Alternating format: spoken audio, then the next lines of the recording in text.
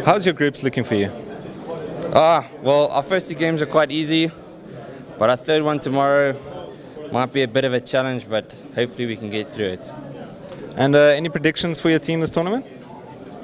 Ah, well, we, we're gunning for first, but the teams this year look quite difficult, so we might get knocked out early, but let's hope that that doesn't happen.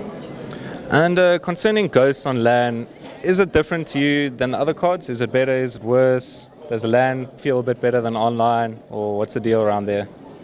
Um, well, I feel like Ghost in general has a good hit rate, even online, but the game feels kind of sluggish compared to other CODs, and I don't enjoy that, and it feels like you die a bit too fast, but other than that, similar to other CODs online. And your star player in your team, who's the big guy? Ah, that's a tough question. uh, I wouldn't say we have a main carry at the moment. Usually when we play, everyone's scores is kind of on par with each other. Uh, the Void has been known to uh, do well in the in the finals, so we're hoping on him if we actually get there that he, he manages to pull something out the hat and perform well for us. Cool. And also another last question: Who would you see as the toughest opposing team around here?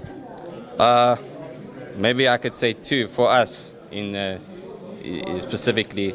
We struggle a lot with Pulse, and uh, we've tied to blaze Blazers leg, and we've struggled with them the whole year. So uh, if we had to play against them, I'd say that would be our toughest game. Cool. Thanks a lot.